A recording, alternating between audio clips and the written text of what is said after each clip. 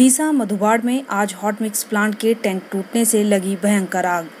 आग इतनी भयंकर रूप से लगी थी कि जिससे वहाँ से आने जाने वाली गाड़ियों की आवाजाही ठप हो गई और लोगों में अफरा तफरी का माहौल बन गया।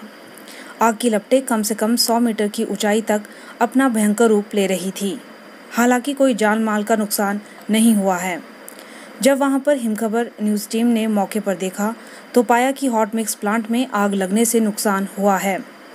आग इतनी भयंकर रूप से लगी थी कि उसकी चपेट में आने से 15-20 सेब के पेड़ भी जलकर राख हो गए। वहाँ के स्थानीय लोगों ने मिलकर आग पर काबू पाना चाहा, पर हॉट मिक्स प्लांट फटने से आग की लपटें इतनी भयानक उठी कि नज़दीक जाना सबके लिए खतरे से कम नहीं था।